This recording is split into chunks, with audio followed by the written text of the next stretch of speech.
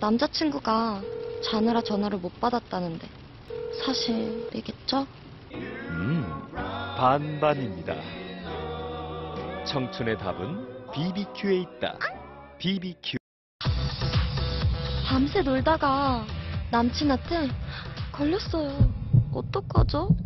두 다리 붙잡고 매달리는 것도 용기입니다. 청춘의 답은 BBQ에 있다. BBQ.